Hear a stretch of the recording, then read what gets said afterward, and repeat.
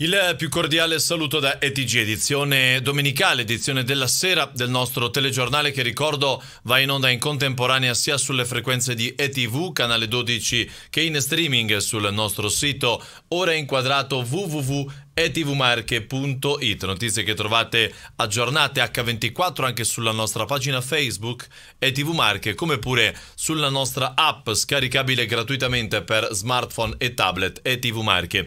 In apertura di questa edizione andiamo a Fabriano, dove purtroppo si è consumato un episodio di violenza domestica. Ne date notizia anche sul nostro sito etvmarche.it. Uomo trovato morto in casa, fermata la compagna. Lo hanno trovato morto in casa con una ferita alla testa. Un omicidio consumatosi ieri sera in un'abitazione del centro di Fabriano. A perdere la vita un uomo, Fausto Baldoni, 60 anni, operaio, colpito con un corpo contundente. Sospetti sulla compagna 51enne fermata per omicidio volontario già piantonata nel carcere femminile di Pesaro. Sul posto i carabinieri il corpo è stato scoperto attorno alle 21 a dare l'allarme sono stati i familiari della vittima che ha circa 60 anni. La porta è stata aperta dai vigili del fuoco, indagini in corso per capire cosa abbia scatenato tanta violenza. Pochi minuti fa abbiamo pubblicato un'ultima notizia sulla vicenda,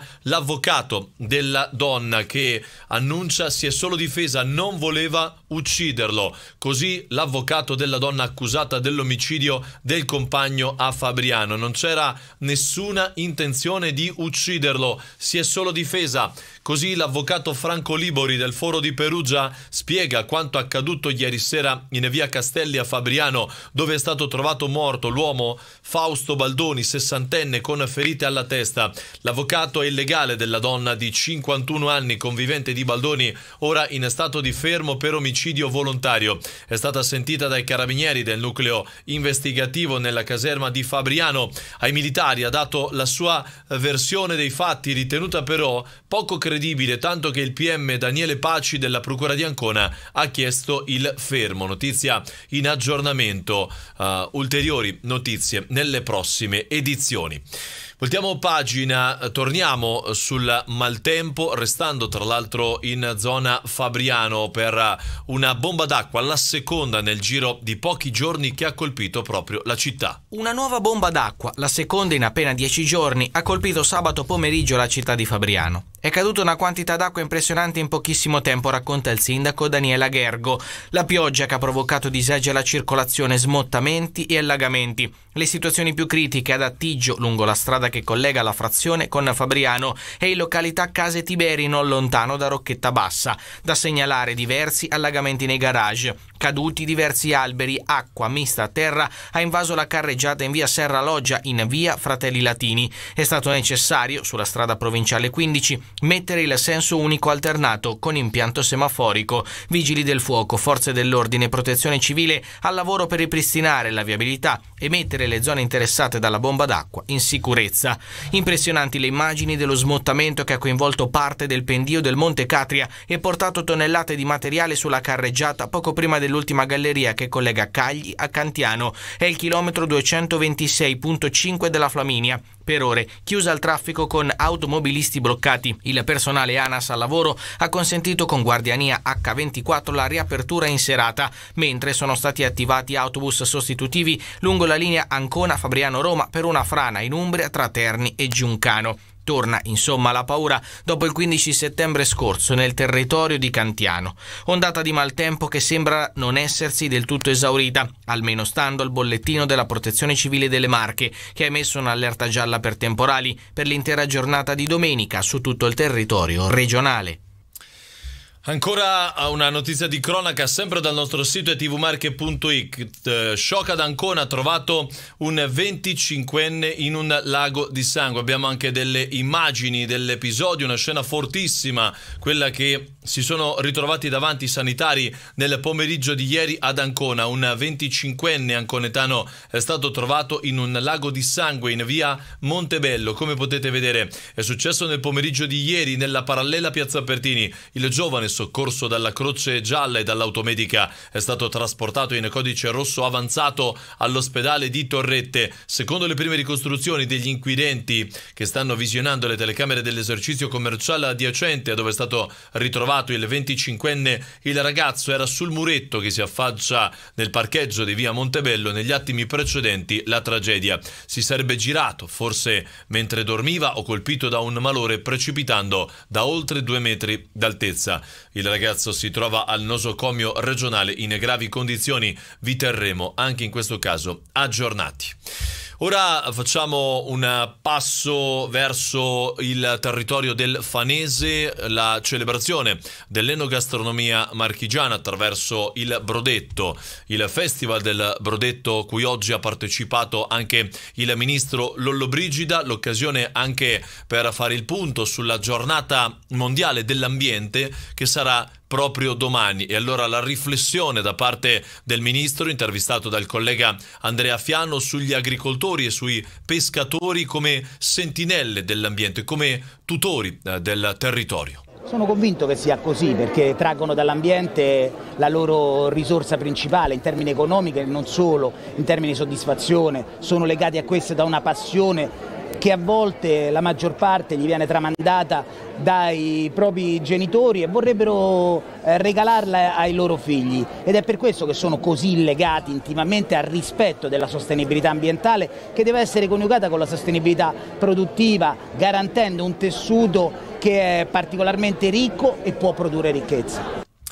Eh, il ministro Lollobrigida è tornato anche sulla vittoria del centrodestra nel capoluogo regionale Ancona, quindi un passo indietro rispetto al voto eh, del ballottaggio per il capoluogo. Quando c'è un buon governo a livello regionale, anche città nelle quali insomma, sembrava ci fosse eh, una scelta obbligatoria rispetto a una coalizione piuttosto che un'altra, vanno a cadere e cambia diciamo come è normale in una logica di alternanza la guida eh, della città e quindi io sono contento davvero che le Marche siano diventate un esempio di buon governo. Un passaggio sempre del ministro Lollobrigida, il terzo in questo caso eh, proprio sul brodetto che si celebra a Fano. Il brodetto è un eh, grande prodotto che racconta come quella che viene definita cucina povera in realtà è una cucina ricca di qualità e può portare benessere non solo in termini di gusto ma anche in termini eh, di eh, ricchezza per coloro che eh, legano a queste produzioni eh, la loro vita. Un eh, passaggio ora su Senigallia dove è stato presentato il cartellone della stagione estiva ormai alle porte. New Trolls, Francesco Baccini, Malika Yan e Gianni Morandi. Ecco le prime conferme nel cartellone estivo di Senigalia e poi anche la festa per i 90 anni della Rotonda Mare e la prima tappa del Summer Tour di RDS. Senigalia annuncia un'estate ricca di eventi e grandi nomi, con uno spazio dedicato anche alla cultura, dalla rassegna di giallo noir a quella di archeologia sotterranea e poi allo sport, primo evento fra tutti, il passaggio in città della Mille Miglia. Tante attrazioni, insomma, per rendere Senigalia sempre più appetibile sul mercato turistico. Una stagione estremamente ricca sul quale il comune di Senigallia ha, ha investito molto e investe come ogni anno tanto molto, eh, serve soprattutto per renderla più appetibile specialmente nei confronti di, una, di un turismo che l'anno scorso ci ha premiato perché siamo stati la città con il maggior numero di presenze ma in una regione che l'anno scorso ha avuto un successone da un punto di vista turistico. Era evidente quest'anno, come faremo anche il prossimo anno, di, la necessità di dover rilanciare eh, anche e soprattutto rispetto a quella che poteva essere un'immagine data a livello nazionale di zone che sono sempre oggetto di di, di, situazioni negative eh, da un punto di vista meteorologico. In realtà Senigallia è una città sicura, è una città dove si sta bene e noi cercheremo di fare in modo appunto di essere sempre più attrattivi. La città dunque è pronta per la stagione estiva ed è riuscita a riprendersi a tempo record anche dopo l'ultima alluvione, nonostante i danni, spiega il primo cittadino Massimo Olivetti, siano stati molto consistenti. Non abbiamo avuto delle conseguenze particolarmente negative ed è per questo anche e soprattutto che successivamente a quelli che sono stati il, maltempo del 16 maggio noi abbiamo provveduto con grande velocità a pulire immediatamente le spiagge. Ecco perché durante il primo sopralluogo fatto alla Protezione Civile Nazionale non avevano avuto benché un buon, una buona idea di, del fatto che noi eravamo stati colpiti esattamente come altre città del Pesarese e su questo noi abbiamo aperto un'interlocuzione con la Regione, riapriremo anche per quanto riguarda l'interlocuzione anche con il Ministero perché Senigallia anche in questo secondo caso ha avuto delle conseguenze negative che noi riteniamo e chiediamo che possano essere poi recuperate da parte dello Stato di chi di competenza. In chiusura, sempre per la pagina degli appuntamenti, parliamo di qualcosa che si è verificato ed è stato un successo. Eccolo qua, il resoconto della serata conclusiva eh, del Fly Marche Moda. Gattinoni, Frida Chizza, i giovani talenti delle scuole marchigiane. La moda del futuro in scena ieri sera a Borgo Lanciano, grazie a Fly Marche, evento che è stato seguito in diretta dalle telecamere eh, di ETV con la realizzazione di uno speciale sul posto con interviste interviste e curiosità che andrà in onda nei prossimi giorni. Le marche sono meravigliose. Ho portato la prima sfilata di alta moda di Guglielmo Mariotto, che per anni ha diretto l'ufficio stile della Gattinoni. Ancora oggi collabora con noi. Sono doppiamente felice. Queste le parole di Stefano Dominella, presidente di Gattinoni, che ha salutato il successo della serata di gala di Fly Marche con un sapiente mix di alta moda, artigianato, giovani talenti, il tutto condito con il gusto dell'enogastronomia marchigiana settimana. Appuntamento con lo special televisivo